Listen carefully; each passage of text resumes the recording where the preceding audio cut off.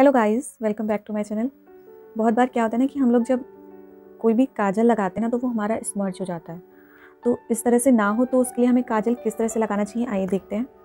इस तरह का कोई भी काजल आप ले सकते हो एक्स वाई जेड उसको आपने अपनी आँखों में अच्छे से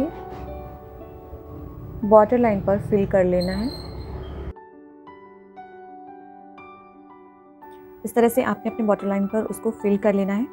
अब आपने काजल तो लगा लिया बट अगर आप इसको लॉक नहीं करोगे तो ये थोड़ी देर बाद बहने लगता है। उसके लिए नॉर्मली जो आई शेडो हमने अपने अपर लिड पर लगाया, उसको ही हमने लोअर लिड पर भी अप्लाई करना है। किस तरह से अप्लाई करना है, आइए देखते हैं।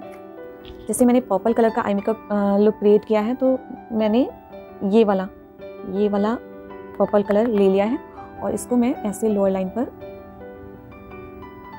काजल को अच्छे से स्मर्च कर लूँगी जिससे कि वो लॉक हो जाए और नीचे ना निकले ओके तो उसको हमें ऐसे स्मर्च कर लेना है।